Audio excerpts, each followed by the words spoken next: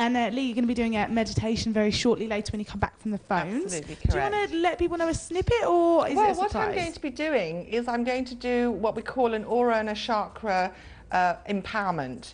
So it's really about working under the meditation uh, with the words and the colors and the affirmations to empower the energy that moves through the chakras and express that into the aura. It just puts a little bit of grounding in uh, to place and it creates a strength on the center through the solar plexus chakra.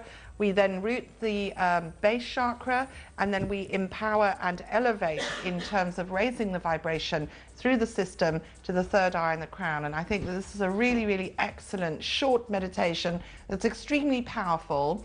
And uh, for those of you who are recording the show, you can go back to it over and over again and utilize it when you need a little bit of grounding. This is an empowerment meditation that could work in uh, helping you to prepare for an interview, helping you to prepare for any exams.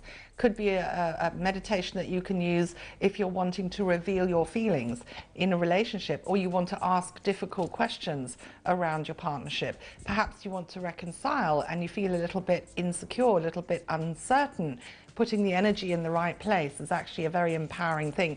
And interestingly enough, when you come into contact with someone else, with your aura being empowered like that, it presents a wonderful message of calm, stability, and a sense of being in control and comfortable in your skin. So you give a wonderful um, impression uh, by working in the subtle energies of the aura. Mm, that sounds very exciting. Do stay tuned for that later. It's going to be very interesting.